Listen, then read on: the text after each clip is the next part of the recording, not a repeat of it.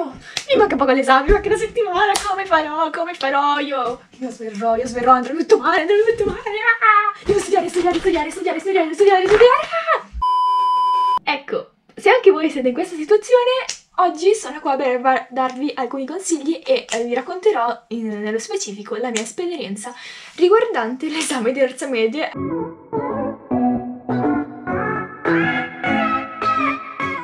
A tutti ragazzi e ragazze, benvenuti in questo nuovissimo video! Io sono Giada e questo è il mio canale se non siete ancora iscritti mi raccomando mettete like e iscrivetevi!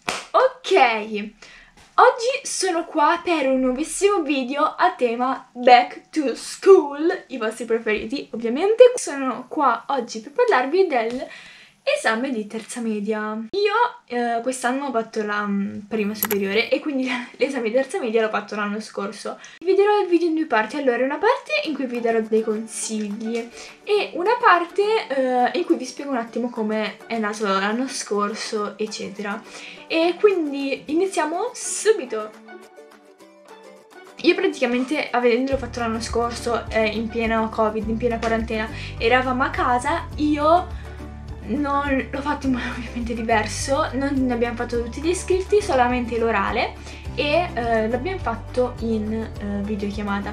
Però da quel che ho capito anche quest'anno eh, non si faranno gli iscritti ma solamente l'orale e poi qualche domanda sul programma. Quindi diciamo che sono stata avvantaggiata anche perché non sono dovuta andare lì in presenza a parlare con i prof ma qua da casa quindi cioè sei a casa sei tutto già più tranquillo, è il tuo posto, comf comfort zone diciamo. E per quanto riguarda la tesina, quindi l'unica cosa che abbiamo fatto è stata la tesina.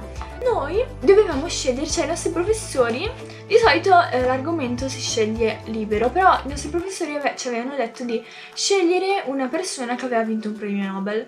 E eh, quindi ho scelto, qua ho la mia tesina, guardatela, aspettate, così, questa copertina, poi dentro, così e uh, io uh, quindi ho dovuto scegliere un premio Nobel e ho fatto Jane Adams che era una femminista e quindi ho, alla fine ho fatto tutto collegato al femminismo. Poi per i collegamenti io non avevo idea, tipo zero, io sapevo un collegamento, non sapevo cosa fare, quindi vi do dei consigli. Allora, o tipo cercate su internet, ci sono già un sacco di tesine preimpostate con tutti i suoi collegamenti preimpostati Oppure fate aiutare i professori. Ho fatto così perché alla fine praticamente la metà dei collegamenti me li ha fatti la mia prof.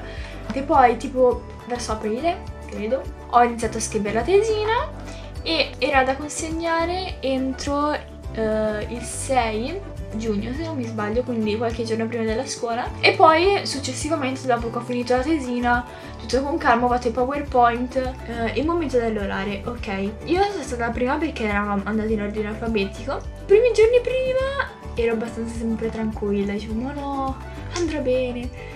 E poi tipo al mattino però ovviamente un po' di ansia l'ho avuto anch'io, cioè c'erano venuti tutti. E quindi poi mi sono collegata e uh, ho iniziato a parlare ma praticamente io sono rimasta tipo scioccata Perché io ho preparato tutto questo, ho parlato della mia tesina Io ero pronta a raccontare tutti gli argomenti. Mi hanno chiesto tre argomenti, tre argomenti palesemente. E basta, poi mi hanno fatto forse una domanda Ma su quello di cui io stavo parlando nella tesina E poi finita lì, guardo d'ora, ciao ciao è stato così, tipo io ero rimasta abbastanza scioccata perché ho detto Ma è facilissimo! Wow! Ma allora perché mi sono preoccupata così tanto? È facilissimo! E alla fine poi sono uscita con noi. È il momento dei consigli. Magari se avete anche qualche domanda, se i commenti sono abilitati, me la scrivete nei commenti. Allora, mi sono preparata qua. Allora, la prima domanda che tutti si chiedono. È difficile? È difficile? È difficile, ma sarà difficile, sarà difficile, ce la farò.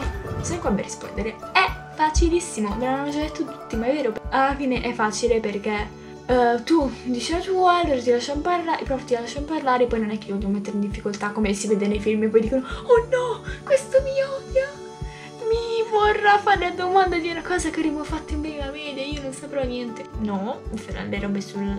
cioè noi abbiamo fatto le domande sulla tesina, comunque robe di quest'anno, eh, non di dieci anni fa che chi se ne ricorda. E quindi la facile ce la farete sicuramente anche perché non credo vi bocciano, anche che, cioè, bocciano chi non parla, se anche uno dice due cose, mica ti bocciano. Eh. Prossima domanda. Uh, sicuramente tutti sarete ansiosi, però io ho sempre pensato così, cioè, poi c'è chi è più ansioso, un po' meno.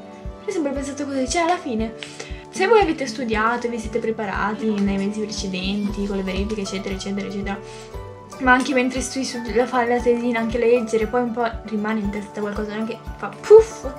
Alla fine, se voi avete studiato, non c'è niente di cui preoccuparsi perché le cose, se le sapete, siete a posto.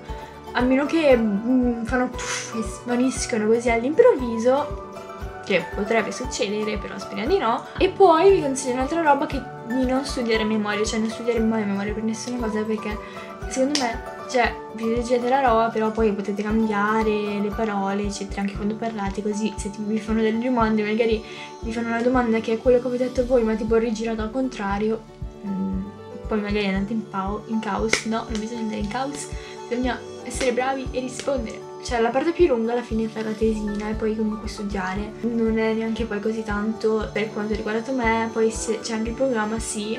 Però comunque secondo me la parte più lunga è la tesina. E comunque questo era il video. Spero che vi sia piaciuto. Se è così mi raccomando mettete like iscrivetevi al canale e non perdetevi tutti i miei prossimi video. E un bacione e un abbraccio ciao! Poi non c'è niente da preoccuparsi andrà bene. E ce la farete un bacio